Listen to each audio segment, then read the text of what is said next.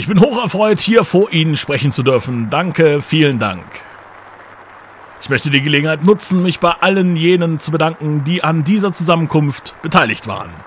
Dank an Harald Unzelmann, Bernd Westphal, Christine Schulz, Dirk Repetzky, Familie Poppenhäger, Kater Kumkum und Jörg Kroll. Mein Name ist Adalin und Sie sehen Yuppies Revanche. 1988, released von Areola Soft, entwickelt von Ralf Glau und Thomas Heimen. Hallo und herzlich willkommen, liebe Leute. Ja, muss natürlich hier so ein bisschen mitmachen hier bei diesem wunderbaren Intro von Yuppies Revanche. Ja, vielleicht kennt's die eine oder der andere. Ähm, ist, ähm, ist so die Zeit äh, von, ich sag mal, Dallas, Yuppies Revanche und Oil Imperium. Äh, Yuppies Revanche ja, es ist ein ähm, bisschen, bisschen abgeschlagen, wenn man jetzt gegen äh, Oil Imperium das Ganze sieht, aber trotzdem interessant, finde ich.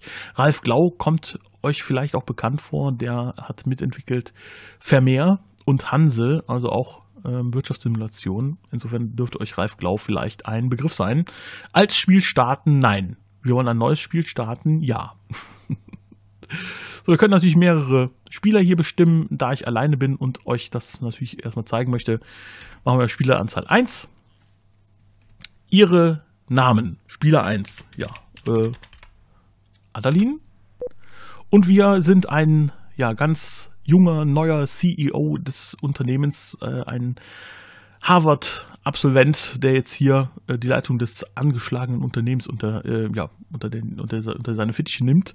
Im Hotel Luxor haben wir natürlich genächtigt. Äh, wir kommen an in New York. Lagermiete für null Tage. Ja, wir äh, haben natürlich noch keine Ölreserven, nichts auf Lage, deswegen brauchen wir auch nichts bezahlen. Und wir fangen an in New York. 1. Januar 1960. Hier haben wir unser Kapital einmal 3 Millionen Dollar hat unsere Gesellschaft an Kapital. Die Ölförderung ist bei 0 Tonnen, also wir haben jetzt 0 äh, Bohrtürme, wir haben also noch gar nichts. Unser Privatkonto steht hier bei 20.000 Dollar. Wir strotzen vor Gesundheit, ja, und unsere Beliebtheit, äh, ja, ist unter ferner Liefen. Keine Sau kennt uns. Das ist ja irgendwie auch bekannt, äh, denn äh, ja, als junger Harvard-Student, ja, hat man die ganze Zeit gebüffelt und äh, überhaupt keine menschlichen Kontakte gehabt. Insofern wissen wir nichts, wir haben nichts äh, außer 20.000 Dollar und 3.000 Dollar Firmenkapital. Wir haben einen Frachter mit 11.000 Tonnen äh, Ladekapazität. Wir haben hier in New York aber die Anzeige, wie viel Tonnen Öl haben wir in New York, auch nichts. Und hier ist unser Regal mit den ganzen Preisen, die wir schon bekommen haben. Das ist sehr eingestaubt. Ja, also wir haben überhaupt keine Preise. Insofern müssen wir erstmal schauen, dass wir die bekommen. Hier haben wir einmal die Übersicht. Wir können natürlich mit dem Taxi fahren, entweder ins Hotel oder zum Flughafen. Dann haben wir hier die Möglichkeit, Fracht ähm, hier zu bestimmen. Das sind die einzelnen Häfen. Im Hafen von New York liegt unsere ja, ADA 1, das ist unser erstes Frachtschiff und wir können die ja schon mal von New York mit Ballast nach Mexiko schicken.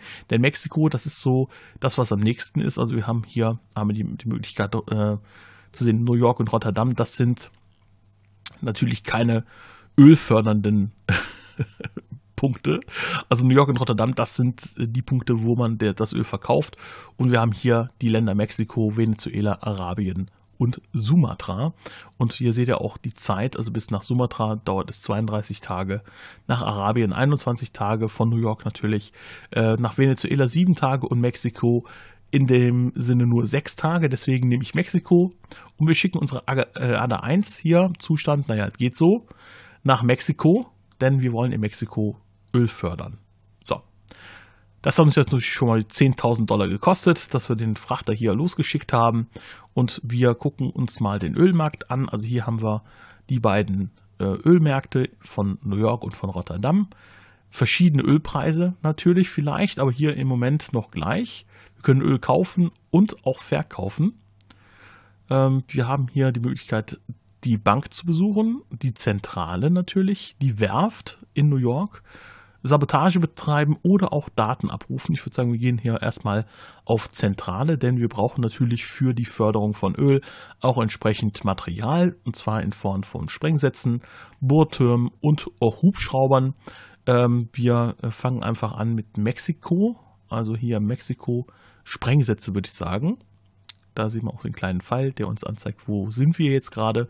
Sprengsätze für Mexiko, für Venezuela, Arabien, das wäre dann hier oder auch Sumatra, das ist dann hier. Ich würde sagen Mexiko, Sprengsätze, fangen wir an, wir bekommen 15 Stück. Bohrtürme für Mexiko. Wir haben jetzt äh, 2,8 Millionen. Ich würde sagen, kaufen wir erstmal zwei. Und die Fördermenge bei zwei Bohrtürmen in Mexiko setze ich jetzt mal auf 500.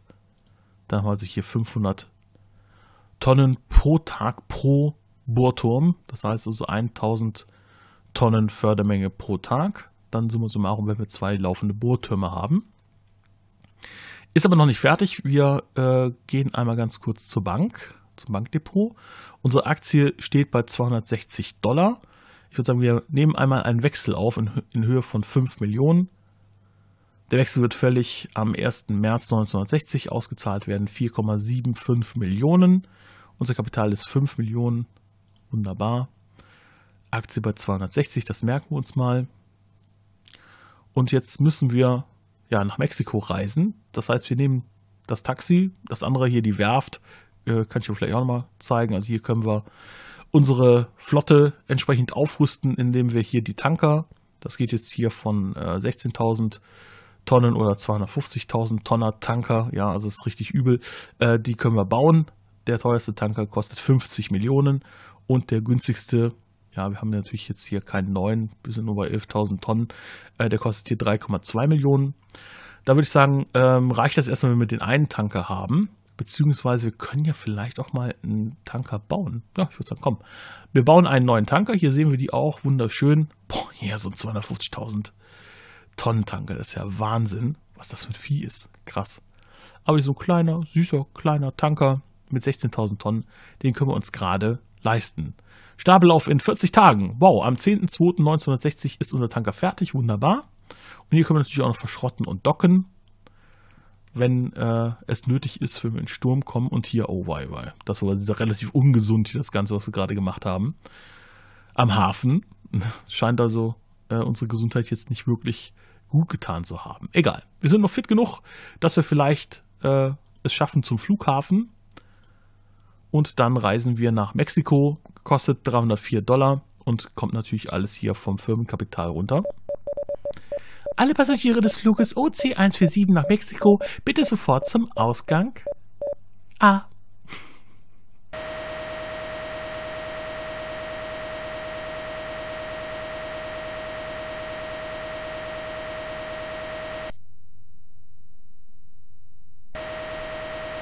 Ja! Uh ich lebe.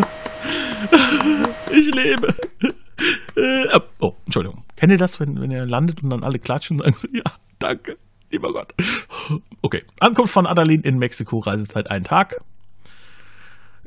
Lagermiete für einen Tag, ja, null, null Dollar. Okay, so.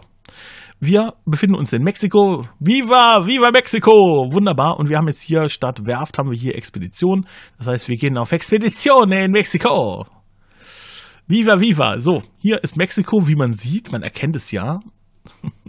Wunderschön gemacht mit Bergen und Flüssen und Animation. Wunder, wunderschön. Naja, es geht. Ne? Also deswegen hier der Unterschied äh, ist ein bisschen staubtrocken hier natürlich das Ganze.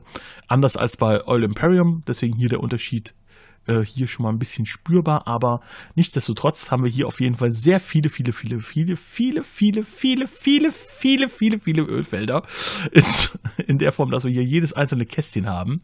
Also das ist schon extrem, finde ich. Das ist schon echt übel. So, wir müssen hier anfangen mit der Sprengung. Wir nehmen uns einmal eine kleine Sprengladung und hauen die einfach mal hier oben links in die Ecke. Uh, und sehen hier den Ausschlag.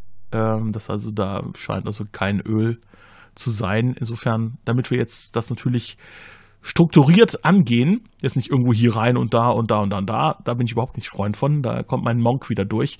Äh, ich setze natürlich hier Feld für Feld die Sprengung an. Und sehen wir also in dem Feld hier ist schon ein deutlicher Ausschlag zu sehen. Das heißt, wir können hier eine Konzession kaufen, dass wir Öl fördern dürfen auf der Parzelle. Kostet natürlich 250.000 Dollar. Ja, nehme ich. Und hier haben wir so ein kleines Fähnchen. Insofern, ja, machen wir mal weiter. Oh, sehr schön. Also ein richtig kräftiger Ausschlag hier. Zack. Auch Konzession kaufen. Ja, natürlich, natürlich. So, da hätten wir unsere beiden konzessionierten ähm, Ölfelder. Und dann würde ich sagen, wir haben ja zwei Bohrtürme gekauft. Dann machen wir direkt mal eine Probebohrung. Und auch natürlich noch die zweite. Wunderbar. Und können jetzt hier uns erstmal weiter durchsprengen, würde ich sagen. Hier ist nichts. Da ist auch nichts. Dass wir hier kein Ölfeld verpassen. Da ist auch nichts. Also hier scheint irgendwie, hier ist es furztrocken. Also da ist gar nichts. Oh, hier ist nochmal Ausschlag. Das heißt, hier können wir direkt mal einen Marker setzen. Konzession kaufen. Ja, wunderbar. Sodass wir also hier schon mal ausprobieren, wo wir das nächste äh, Öltürmchen hinstellen könnten. So sechs Sprengsätze habe ich noch. Dann sprengen wir einfach mal munter weiter. So. Oh. Uiuiui. So, jetzt haben wir einmal das Land umgegraben und hier haben wir noch zwei Felder frei. Das heißt, äh, da müssen wir nachher nochmal gucken. So, können wir auch direkt machen. Zentrale Sprengsätze für Mexiko. Hätte ich gerne nochmal, ach komm, vier Stück. So, danke. Zentrale, ja. 1,2 Millionen kostet immer noch so ein Bohrturm. Expedition. Sprengung. Hier ist auch nichts. Also, die erste Spalte hier ist komplett leer. Dann gucken wir mal die zweite Spalte. Hier ist noch was. Da hole ich auch nochmal eine Konzession. So, gucken, ob hier noch was ist. Ja, da auch. Da wir uns auch nochmal eine Konzession. Da hätten wir jetzt fünf Konzessionen. Wunderbar. Das heißt, wir können hier auch uns entsprechend erweitern. So, wir haben 630.000 Dollar noch übrig. Das heißt, äh, wir gucken mal auf die Bank. Unsere Aktien sind ein bisschen im Wert gesunken. 170 Dollar. Das ist wunderbar. Dann würde ich sagen, kaufen wir uns doch mal vielleicht 1000 Anteile. 1000 Anteile zu 170.000. Ach komm, wir machen noch ein bisschen mehr, oder? Wir nochmal 2000. So, und äh, 120.000 Dollar halte ich nochmal. Hoffentlich kommen wir damit hin. Denn wir müssen ja noch abwarten. Oh, oh Gott, unsere Gesundheit. Das ist richtig übel. Wir müssen ganz dringend ins Hotel. Fünf Tage braucht noch der Tanker, bis er jetzt hier in Mexiko ist. Das heißt, wir warten einfach mal. Ich würde sagen, wir nehmen mal ein ja, Zimmer, weil wir haben nur 20.000. Hier sind die Preise. Luxus-Apartment 960 Dollar pro Tag. Das ist ja echt übel. Ich würde sagen, ein Zimmer reicht. Ist erstmal hier für fünf Tage. Ankunft von Adeline in Mexiko, Aufenthalt fünf Tage. Wir haben noch nichts gefördert, also insofern noch keine Kosten. Und Alle 1 ist in Mexiko. Das heißt, hier steht unser Tanker bereit. Jetzt gucken, gucken wir uns ganz kurz mal die Daten an. Wir haben die Probebohrung gemacht und zwar sehen wir hier einmal die Termine, die es gibt. Wechsel. Der nächste Wechsel wird fällig in 84 Tagen am 31.03.1960 in Höhe von 5 Millionen. Die nächste Vorstandstagung findet statt am 1. März. Gesetztes Ziel Aktienanteile 0% und Universitätsball, also in 84 Tagen am 2.04. ist der Uniball. Äh, dann haben wir die Tankerposition, ist ja klar, können wir uns auch mal anschauen. In Bau befindet sich die ADA 2 dauert noch 34 Tage und ADA 1 ist auf Rede in Mexiko. Die wartet hier entsprechend auf äh, ja, Befehle. und Ölfelder haben wir auch. Mexiko, hier sehen wir also, hier haben wir schon 500 Meter bekommen pro Tag 100 Meter in die Erde rein. Das heißt, wir haben hier noch keine Förderung, wir sind immer noch kräftig am Bohren. Und insofern, ja, können wir hier Ölpreisentwicklung uns auch mal anschauen. Aktienkurs ja, geht so. Ähm, aber hier der Ölpreis, der ist relativ stabil hier bei 300 Dollar ungefähr. Das ist doch schon mal gar nicht schlecht. Oh, meine Gesundheit. So, wir brauchen jetzt ein bisschen mehr Zeit. Ich gehe mal ins Hotel. Ich würde sagen, 25 Tage sollten reichen. Dann hätten wir wahrscheinlich so viel gefördert, dass wir mit ADA 1 loslegen können. Aktienspekulation fehlgeschlagen. Dem Unternehmen von Annalene entstand ein Schaden von 36.208 Dollar. Oh wei. Die Ölministerkonferenz in Venezuela beschließt Erhöhung der Förderquoten. Aktienspekulation fehlgeschlagen. Schaden 25.345 Dollar. Oh. Die Monatsabrechnung. Aktienkursänderung minus 867 Dollar. Prämie 0 Dollar, Gehalt 6.000 Dollar. Das heißt, unser Konto ist jetzt bei 22.400 und ein Monatsgehalt von 6000 Dollar. Das ist doch gar nicht schlecht für den Anfang. So, und wir sind jetzt hier nach 30 Tagen soweit. Wir haben 11.000 Tonnen Öl in Mexiko und äh, schicken dann direkt mal ADA 1 hier äh, nach New York, würde ich sagen, weil das der nächstgelegene äh, Hafen ist. Also von Mexiko Transport nach New York mit der ADA 1. Und jetzt nehmen wir hier die 11.000 Tonnen Öl mit nach New York. Wunderbar. Unsere Gesundheit sinkt wieder leicht. Unser Kapital ist bei 33.900. Ich würde sagen, wir ja, fliegen direkt mal vor. wir werden natürlich fünf Tage vor ADA 1 ankommen. Also ab zum Flughafen nach New York. Alle Passagiere des Fluges OC 131 nach New York bitte sofort zum Ausgang C Ich möchte am Fenster sitzen. Ja, danke.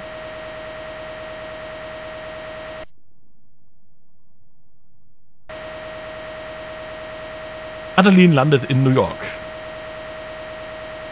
Mein Koffer ist weg. Nein! Oh, scheiße. Ankunft von Adeline in New York, Reisezeit einen Tag. Und wir haben ja auch keine Kosten, weil wir ja auch die Tonnen jetzt quasi auf dem Meer umher schippern. Und wir müssen noch fünf Tage warten. Das heißt, wir gehen ins Hotel. Zimmer. Haben wir fünf Tage. Kostet 600 Dollar. Wow. Dem Unternehmen von Annalene werden Subventionen in Höhe von 2 Millionen bewilligt. Juhu! Okay. So. Lagemiete für fünf Tage. In Mexiko 5000 Dollar. Ist ja okay. Und die Adalin, äh, die Ada 1 ist in New York angekommen mit 11.000 Tonnen. Wunderbar. Das heißt, wir können auf dem Ölmarkt Ölverkauf New York hier zu 129,25 Dollar. Dann erstmal alles verkaufen. Ja, 1,4 Millionen hat es ungefähr gebracht. Wir schicken unsere ADA 1 gleich wieder zurück. Ich würde nur sagen, wir gehen ganz kurz mal in die Werft und ja, docken vielleicht die ADA 1, weil der Zustand ist jetzt schon echt übel. ADA 1 Reparaturkosten 1 Million, fertig in neun Tagen. Okay, oh wei, oh wei, oh wei. So, Bankdepot. Die Aktie äh, steigt auf 409 Dollar. Ich würde sagen, wir ja, warten einfach mal auf den Wechsel. Vielleicht haben wir ja noch ein bisschen Glück. So. Mal kurz gucken. Daten. Tankerposition. Quatsch. Tankerposition. In drei Tagen ist unsere ADA 2 fertig und in neun Tagen ist unsere ADA 1 im Dock fertig. Das heißt, ich würde sagen, wir warten mal drei Tage. Taxi, Hotel. Hier mal ein Apartment für drei Tage hier, 1200 Dollar. Uah. Ach, war das schön. So, Stapellauf in New York. Jawohl, feiern. Wir gehen in die Fracht und zwar von New York. Ballast nach Mexiko, die ADA 2. Und hier sehen wir auch, wie viel 1000 Tonnen wir in Mexiko ähm, stehen haben, also 9000 Tonnen. Sechs Tage das bedeutet, wir hätten dann 15.000 Tonnen. Das heißt, die ADA 2 sollte eigentlich, wenn sie jetzt nicht im Sturm irgendwie beschädigt wird, mit 15.000 Tonnen dann irgendwann auch wieder zurückkommen. Jetzt nehme ich mal wieder ein Zimmer. Sechs Tage. Jawohl. Aktienspekulation fehlgeschlagen. Uns entsteht ein Schaden von was? 726.839 Dollar. Boah, ihr Schweine. So, wunderbar unsere Gesundheit, oh meine Güte. So, von Mexiko. Transport nach New York. 15.000 Tonnen, wunderbar. Und von New York Ballast nach Mexiko hier die ADA 1. Das heißt, die fahren sich jetzt äh, gegenüber, also kreuz und quer. So, nochmal sechs Tage. Wunderbar. Die Lagerkosten für Öl erhöhen sich auf 1 Dollar und 10 Cent pro Tonne. Das ist schlecht. Die Ölministerkonferenz in Arabien beschließt Erhöhung der Förderquoten. So. Die ADA 1 ist in Mexiko, die ADA 2 in New York. Wunderbar. 15.000 Tonnen haben wir. Ölmarkt, Ölverkauf, New York. Alles. 3,7 Millionen. Uns fehlt ein bisschen was. Bis zu 5 Millionen. So, ich würde sagen, äh, wir kaufen nochmal ganz schnell Bohrtürme. Die sind nämlich gerade im Angebot bei einer Million. Das ist super für Mexiko. Bitte äh, drei Öltürme. Und ich würde sagen, wir schicken jetzt äh, ADA 2 wieder zurück mit Ballast nach Mexiko. Zip. 6000 Tonnen, das heißt, wir müssen noch ein bisschen warten. Noch ein paar Tage. Taxi! Ab zum Flughafen! Alle Passagiere des Fluges OC220 nach Mexiko, bitte sofort zum Ausgang A.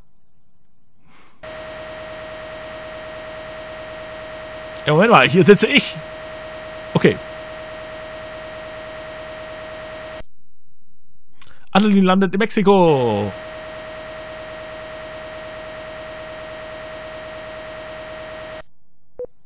Ankunft von Adeline in Mexiko, Reisezeit ein Tag. Okay. So 7000 Tonnen, das heißt, wir haben in Mexiko 15.000. Für die Schnellrechner einfach mal acht Tage warten. Ich würde sagen, wir äh, gehen aber ganz kurz auf die Expedition. Oh, mir ist schlecht. Irgendwie ist mir... Oh. Katastrophe im Ölhafen von Rotterdam. Monatsabrechnung. Prämie if 1300 Dollar, wunderbar. Und Gehalt 6000 Dollar. Macht auf unserem Konto 22.000 Dollar. Aktienkursänderung plus 226 Dollar. So, Gehaltserhöhung um 300 Dollar. Naja, es geht. Zu Aktienbesitz 3%. Dann haben wir unser Ziel natürlich auch wieder gesetzt. Neues Ziel, wir halten die 3%. Die ölexportierenden Länder beschließen eine Erhöhung der Ölproduktion. Ankunft von Annelien in Mexiko, Aufenthalt 14 Tage. Das heißt, wir waren im Krankenhaus. Unsere Gesundheit war ein bisschen angeschlagen, aber wir haben jetzt die 21.000 äh, Tonnen Öl. Das ist sehr schön. Das heißt, wir können hier die Fracht starten von Mexiko.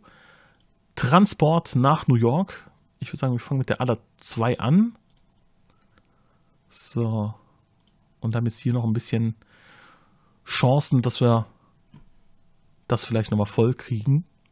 Ich gehe mal in die Expedition. Und wir machen nochmal eine Probebohrung hier. Probebohrung da. Und nochmal Probebohrung hier. So. Dann hätten wir fünf Quellen, äh, wo wir dann, wenn sie fertig sind, natürlich dann auch entsprechend die Ölmenge äh, vielleicht anpassen sollten. 6000 Tonnen haben wir. Äh, die Fracht ist unterwegs sechs Tage. Ich würde sagen, wir warten erstmal die sechs Tage ab. Ich nehme nochmal ein Zimmer. Ach, geil. Dem Unternehmen von Annalene werden Subventionen in Höhe von 2 Millionen bewilligt. Geil, Omat. Sehr schön. Und Öl haben wir auch. Gerade rechtzeitig, dass wir dann entsprechend auch äh, die 5 Millionen Wechsel dann noch haben. Vielleicht, wenn es denn gut geht. So, wir müssen noch drei Tage warten. Fracht von New York Ballast nach Mexiko. Ballast mal zurück, oder ich meine Ballermann zurück. Drei Tage. Komm schon, das wird doch gehen. Nee. Nee, nee, nee. drei Tage. So. Fracht von Mexiko, Transport nach New York. Jupp. Wir müssen bis zum Ende des Monats da sein, aber es müsste jetzt eigentlich genau funktionieren. Schauen wir mal, Tankerpositionen. In drei Tagen ist äh, die ADA 2 in Mexiko und in sechs Tagen die ADA 1 in New York. Wunderbar. So, da wir sowieso in Mexiko jetzt momentan noch 0 Tonnen haben, ist es egal. Dann warten wir mal sechs Tage ab. Ab ins Zimmer. Die Lagerkosten für Öl erhöhen sich auf 1,20 Dollar pro Tonne. Okay. Wunderbar. 23.3. Geil. Ölmarkt, Ölverkauf, New York, alles. Ah, wir haben unsere 5 Millionen. Das ist ja wunderbar. Klasse. So, Fracht von New York. Ballast nach Mexiko, die ADA 1. So, wir haben jetzt äh, ja, 14.000 Tonnen. Das heißt, wir können acht Tage mal locker warten, würde ich sagen. So. Hup.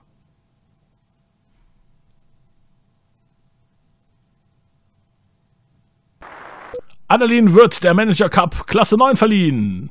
Der Preis ist mit 23.000 Dollar notiert. Spenden Sie das Geld. Äh, nö. Ihr Konto erhöht sich auf 42.685 Dollar. Sehr schön. Prämie 13.300 Dollar, Gehalt 6.300, macht ein Konto von 62.000 Dollar. Wechsel von Adeline wird fällig, Wechselhöhe 5 Millionen. Okay. So, dann schauen wir mal, was übrig ist. 1,1 Millionen haben wir noch übrig. 62.000 Dollar haben wir auf unserem Privatkonto. Und hier unser erster Preis. Juhu! Klasse 9 Award. Hier natürlich ganz oben ins Regal gestellt. So, dann können wir ganz schnell nochmal Öl nach New York schicken. Transport nach, ach Quatsch, ja, ja, nach New York. Und zwar fangen wir an mit der ADA 1. So, äh, wir haben jetzt ungefähr ja, 30.000 Tonnen, würde ich mal sagen, aufgerundet mit an Frachtkapazität. Wir haben fünf Öltürme, die 500 äh, Tonnen pro Tag, äh, 500, ja, 500 Tonnen pro Tag fördern. Wir schauen mal, äh, Zentrale. So, 500 Tonnen pro Tag mal 5 Türme sind 2500 pro Tag mal 12 Tage sind genau 30.000 Tonnen. Also insofern ist es äh, hier optimal. Das sollte alles so funktionieren. So, dann äh, müssen wir noch mal ein bisschen warten. Also sechs Tage wieder ab ins Hotel, im Zimmer. Und ich würde sagen, ja, komm, wir machen mal, ach ja, komm, einmal nochmal machen wir nochmal Zimmer, danach machen wir Apartment, weil wir haben ja jetzt ein bisschen mehr Geld. Sechs Tage Aufenthalt. Oh, was jetzt? Universitätsball, 2. Äh, April 1960. Erfolgreichster ehemaliger Absolvent des Jahrgangs 1960 ist Adalin. Sehr schön. Danke, danke. Zu viel der Ehre. So, in New York ist es angekommen. Jetzt machen wir hier Fracht. Von Mexiko Transport nach New York mit der ADA 2. Und von New York Ballast nach Mexiko die ADA 1. Wunderbar. Es läuft. Klasse. Ölmarkt, Ölverkauf, New York, alles. Ja, 2,5 Millionen, wunderbar. Ach, wunder, wunderschön. So, Zentrale. Wir sind natürlich immer noch in Mexiko. Ich würde sagen, wir fliegen einmal nach New York. Alle Passagiere des Fluges OC 180 nach New York, bitte sofort zum Ausgang B.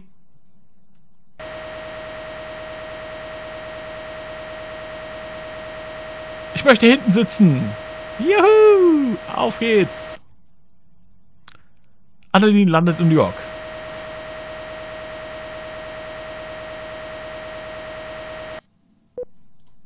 Ah, wunderbar.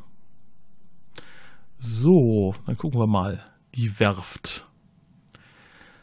Äh, wir könnten jetzt hier so eine LR1 vielleicht bauen, 45.000 Tonnen für 9 Millionen. Ich glaube, das ist unser nächstes großes Ziel. Äh, ich gehe nochmal ganz kurz ins Hotel. Hier haben wir mein Apartment. Hier für fünf Tage. Ein bekannter Sportclub bittet alle um Unterstützung. Spenden Sie. Ja, natürlich. Nur nicht zu viel.